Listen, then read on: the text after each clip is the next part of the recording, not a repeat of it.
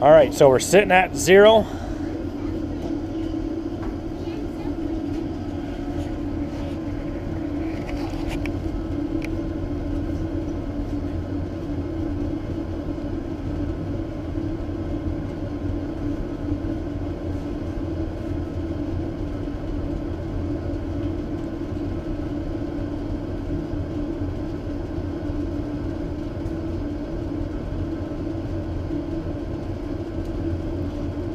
Six hundred. Seven hundred. Call that seven fifty. Go for eight hundred. Maybe call that nine.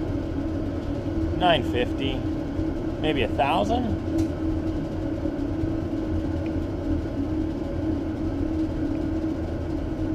So maybe 11.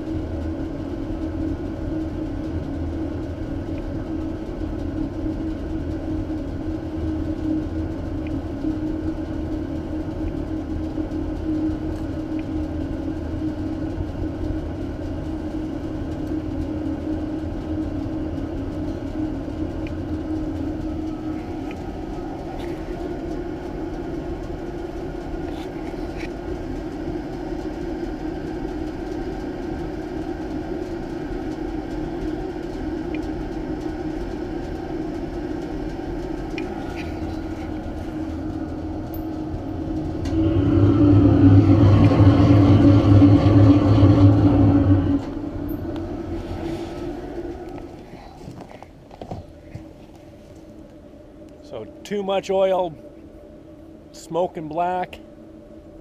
As you've seen, I adjusted it just before we came out, and the smoke is cleared out.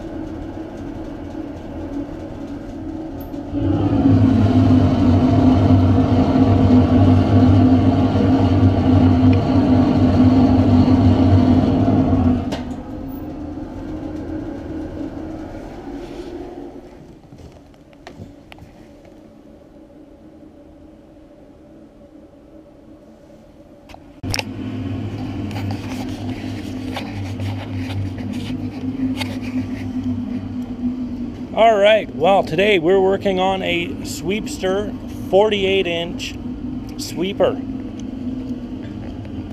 So it ran into a few issues. One of them being uh, we broke one of the drive belts.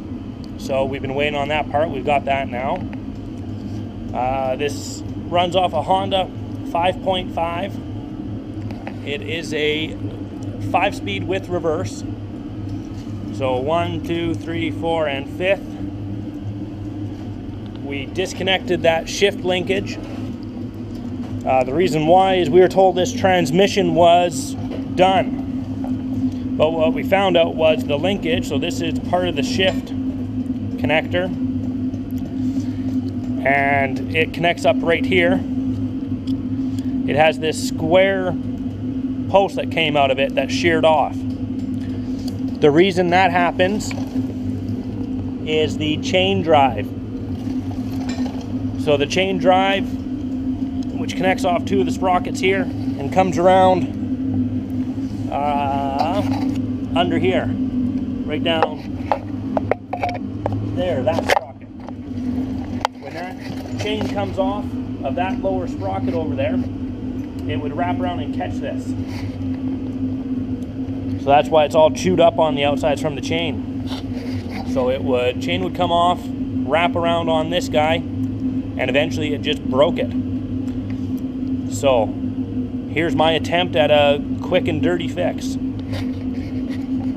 Okay, so we attempted to drill it, seeing if we could put another screw or a bolt or something in it. Nothing really worked. So we drove this little chisel in, banged on her good with a hammer for a bit, used vice grips and that was able to change the gears. So I believe I have it in the third gear uh, forward. So we're just going to leave it there. We're going to leave everything off of it and uh, we'll start putting it back in the machine. So as soon as I get in the machine, I'll uh, let you take a look. Okay, so to get that little transmission back in place, we flipped the unit on its side, took the tires off just to kind of give it uh, less weight. So here it's in place. We got the brake hooked up, the new belt in place. We just have to feed this chain around.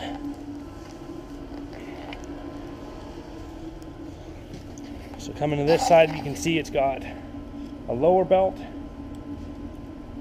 and an upper belt.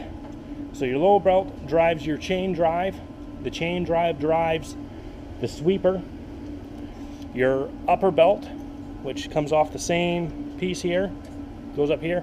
That's what drives your transmission. So it should be in third gear. We're hoping, but won't really know until we start it up and check it out. So in here you can see the chain is on its drive, which drives your sweeper. When it would come off, the shift linkage was down in here, so the chain would come off and then wrap around it, taking it with it. So we're going to get these tires back on, flip it uh, right side up, or I guess put the lower plate back on, flip it over, start her up, and see what happens. Stay tuned.